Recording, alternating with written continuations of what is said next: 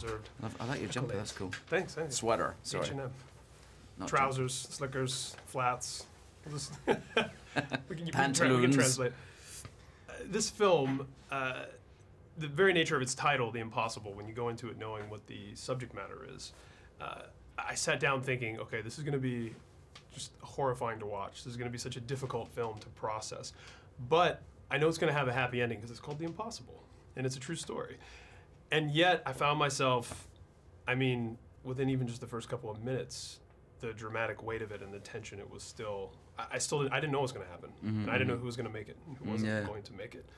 Uh, could you tell me a little bit about the uh, striking that balance of, um, you know, it's a true story Yeah. and it's. Uh, we hope that everyone survives, but also having to, to tell a film that has that dramatic tension and, and Well, I mean, the dramatic tension, I think, is something that's in the hands of the director, really, and not so much the actor.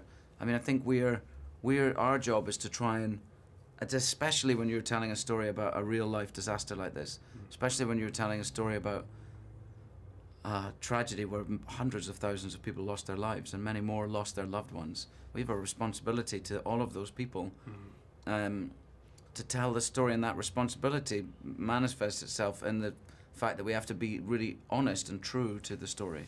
I mean, if we start doing sort of movie scenes and, Yeah. and making movie moments out of this story, that would be, you know, using the tsunami, that would be unforgivable. But I'm I'm pleased and proud to say that we don't, and that the the director didn't ever encourage us to do so. So um, our job was to be very honest and true to the scenes we were playing, really, and uh, the dramatic tension is something that he's that he's managed to create, and, and, and it's true from the moment the film starts, really to the end. There's- loud airplane and the um, turbulence and yeah, there's something very uneasy about it. of dread. But the impossible also is a is a he puts the title at the end of the film, Mm. and he does that because uh, our family survive, and we see them leaving Thailand, and in many ways, um, he he says that that's where the impossible begins. That how do you survive something like this? Oh wow. It's it's not it's not easy to be a survivor. It's because you're have they've struck with um, feelings of guilt and why did they survive and other people died, and um, I think it's not easy. And how do you how do you go back to normal life after experiencing something as barbaric and cruel and violent and um, and devastating as this as the tsunami? I, I have a little girl who turns five this month, Yeah. and another kid on the way. And I know you're, you're also a parent. Thank you.